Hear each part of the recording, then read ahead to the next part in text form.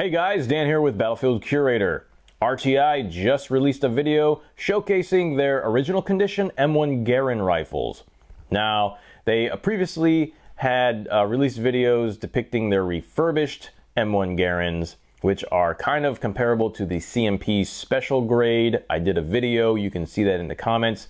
But in this video, we're gonna discuss the original condition ones and I'll give you my thoughts. So in their video, RTI showcases four M1 Garands that came out of Ethiopia. And these are, they say in the video that these are some of the better looking ones. And if you haven't seen RTI's video, I put a link in the description. Go check their video out for yourself. I'm just kind of giving a brief overview of what I saw. So these M1 Garands, they look pretty decent. You know, I would say uh, these would be uh, comparable to your field grades or your service grades that you would find at the CMP. Obviously, you could see that there is a lot of bluing wear. On their website, they state that uh, the bluing could be uh, anywhere from 40% to 80%, uh, which means that you're going to have bluing loss on these.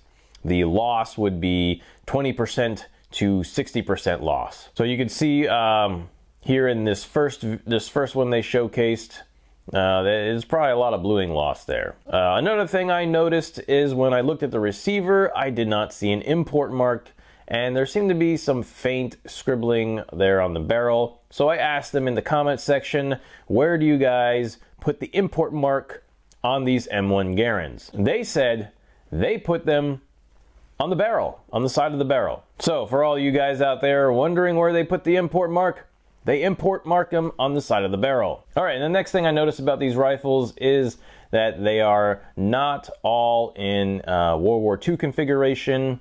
Uh, some of these you can see that they do not have lock bar sights installed. A lot of these are post-war, uh, re-arsenaled uh, at the armories. Uh, it seems like don't expect anything with uh, very early features. Um, now that's not to say that they don't have any M1 Garands with very early features. They could be holding out on us. And uh, I'd be interested to see if they come out with a batch of very early M1 Garand rifles. So could they have a gas trap model somewhere? Mm, they probably would have announced it already.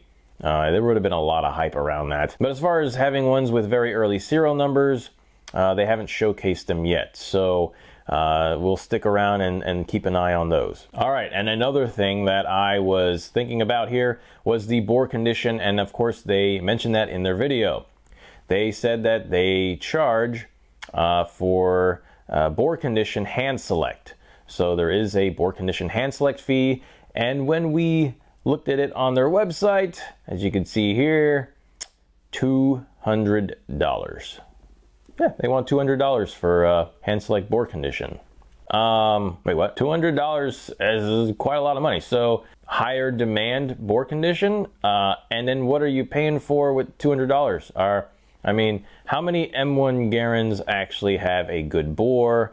Um, you know, are you talking like $200 because you get a a uh, a pretty much mint bore, or are you talking $200 uh, just for uh, going around and searching for one in a million M1 Garands that have a good bore. Uh, what's why so high? Uh, I think the price is a little steep here on the hand select uh, bore condition. And when it comes to the bore condition, I think that RTI should take some photos of the bores that they have on some of these rifles and show them on a video. Show them, you know, what, what some of the bores look like. You know, um, they did that with the M1 carbines.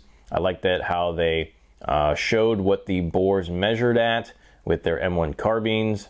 Um, so I think, you know, they should do the same thing with the M1 Garands. Like show us some of the bore condition. Cause I mean, you're paying a lot of money for a bore. Now, now you add those $200 to the, you know, price range on these M1 Garands and what you're looking at is uh, see, $1,200 for a Springfield Armory.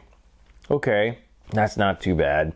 But when you add that $200 on top of that, you're looking at 1400 bucks. Seeming how M1 Garand rifles are in very high demand, you go on Gunbroker and you'll be competing with a lot of people, and you might come out with what could be like service grade uh, with a decent barrel, like a really decent barrel, uh, for somewhere close to two grand uh, on Gunbroker. So if you bought something on Gunbroker, let me know in the comments. Um, now, yeah, you could probably get an M1 Garand for about 1400 bucks on Gunbroker as well. There are some guns that go on Gunbroker for real cheap and people get a steal of a deal. Now, if you compared those price ranges to the CMP, uh, who also sells a lot of M1 Garands, uh, the CMP goes, they go for about 750 to $1,000, uh, depending on which grade, like, you know, field grade to a service grade, probably around that price.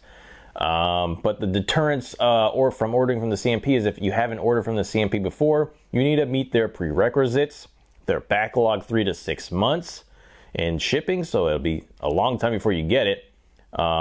And or you'd have to travel there, uh, which they're, they're, the only the only place that's open right now is in uh, Talladega, Alabama. So if you are not anywhere near there, you want to travel there, you want to take the time to travel there and pick one out hand you know hand select one and pick one out, or do you do you want to just you know uh, do a mail-in order? That's another deterrent too, because you with the CMP you have to do a mail-in order, and uh, you know that it, it's it's you know it might be three months before you even get word if they got their your order in, right? So uh, I see those complaints sometimes, uh, but people say it's worth it to order from the CMP uh, just you know just play the wait game i guess. But if you order from rti you can pay with credit card and you'll get a rifle shipped to you. Now uh, the condition of the rifle is going to be hit or miss. Uh, i know some people get disappointed with some of the rifles they receive from the ethiopian batch and you know those rifles have been stored in essentially goat barns and exposed to some elements out there and, and goat poop and as far as the price ranges from these from RTI, you're looking at 1200 for a Springfield Armory, uh, 1400 for a Winchester, 1400 for H&R, and then of course you have the hand select. Bore condition, 200 bucks. So on their website, they don't say how much an international harvester is, but when you scroll down here that they, it shows you you know hey there, there's international harvester available and in their video they said hey yeah they they have international harvesters but very few so overall, those are my thoughts on the original condition M1 Garand rifles from RTI. So yeah, let me know your thoughts in the comments section. And don't forget to learn history and curate history. Make it a great day.